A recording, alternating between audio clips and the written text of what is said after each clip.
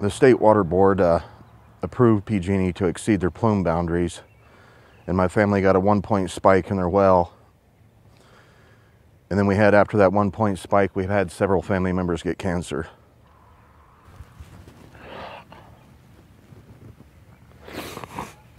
And this is the first time I've been back to see my mother since she died. She died with cancer.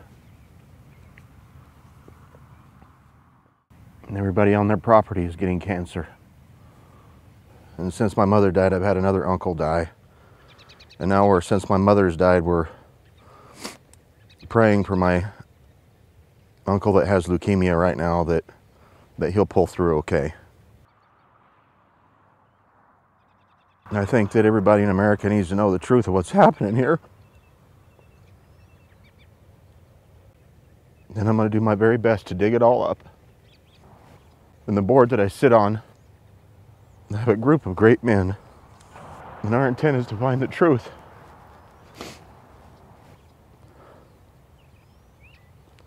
Because too many people in Hinkley are ending up here.